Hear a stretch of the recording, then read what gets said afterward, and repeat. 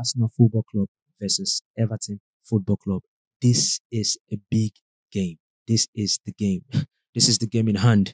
It's a big one, and we need this game. I trust the boys to turn up because once you win this game, you go five points clear of Manchester City in this title race. And this time of the season, you don't want to be dropping unnecessary points. Like Pep Guardiola said, the person who drops the lesser points wins the league. For real, no lies.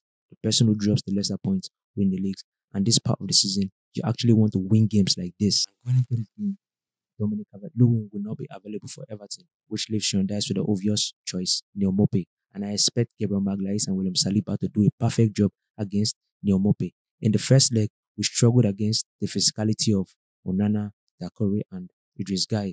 But going into the second leg, I want to see an Arsenal midfield that is direct, decisive, and sharp. Would like Arsenal to actually get on everything from the get-go, get on everything from the first whistle, from the start of the game. Because these days, I feel like our first half has kind of been slow in recent games. Our first half has kind of been slow in recent games. We've lacked that vibe. We've lacked that fight in first half in recent games. But going into this game, knowing it's an important game, I want to see that fight in the first half. I want to see Arsenal take this game to Everton. And I'd actually like Leandro Trossard to continue as the top nine in this game because against low block teams, you need a player who can drift across the front line in as much as, you know, dragging players out of position and allowing Martinelli and Bukayo Saka to make those runs in behind. You could see the goal against Leicester.